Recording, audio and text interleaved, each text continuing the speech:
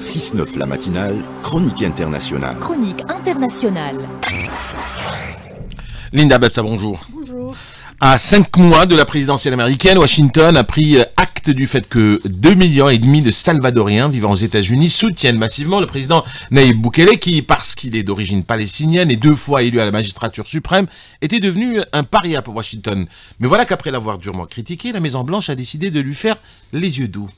Alors, Washington euh, s'est toujours trouvé des arguments pour dire euh, son désamour vis-à-vis du- d'un président que les États-Unis n'ont pas contribué à élire. Il faut dire que le profil de l'homme est loin de correspondre aux critères de la Maison-Blanche. Naïb Bukele est né en 81 à San Salvador. Son père, Armando Bukele Katan, était un homme d'affaires, un Palestinien de confession chrétienne qui s'était converti à l'islam, puis il est devenu un imam reconnu, respecté de tous, une figure influente dans la vie politique de la communauté musulmane du pays. Son fils, élu deux fois la magistrature suprême, est tombé en disgrâce auprès de Washington parce qu'il avait osé se représenter une deuxième fois aux élections présidentielles après un premier mandat. Il l'est davantage aujourd'hui, puisqu'il a été élu avec une majorité confortable dans ce pays de 7 millions d'habitants. En fait, euh, ces électeurs ont plébiscité une de ses politiques les plus remarquables, celle qui a débouché sur l'incarcération de 73 000 membres de gangs sévissant dans le pays depuis les années 90. Une décision qui a considérablement fait chuter le taux d'homicide en ramenant, en ramenant une paix civile longtemps attendue dans ce pays déchiré par les opérations mafieuses. Après la deuxième élection de ce jeune président, donc depuis quelques jours, le secrétaire d'État américain s'est euh, fondu d'un tweet de félicitations, mais pas plus.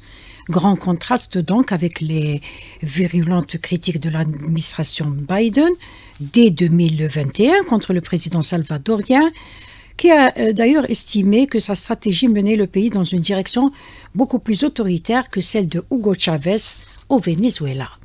Voilà donc qui est dit. Ce que les États-Unis reprochent en fait au président du Salvador, c'est d'être bolivarien. Et en réponse à ces critiques, le président a rétorqué, le président salvadorien bien sûr a rétorqué, cela fait 200 ans que vous nous donnez des leçons.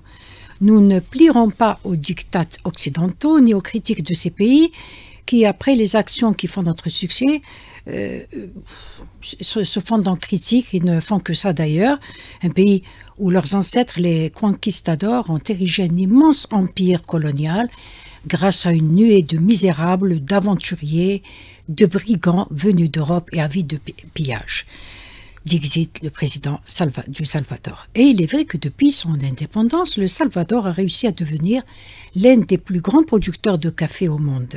Il s'est spécialisé dans l'agroalimentaire, la chimie, le pétrole, le textile, le plastique, l'aluminium et les produits pharmaceutiques.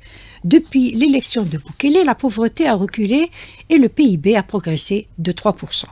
Le Salvador profite donc actuellement d'une croissance économique qui dépasse les moyennes historiques, ce qui annonce un bel avenir pour ce pe- petit pays d'Amérique latine, n'en déplaise à Washington.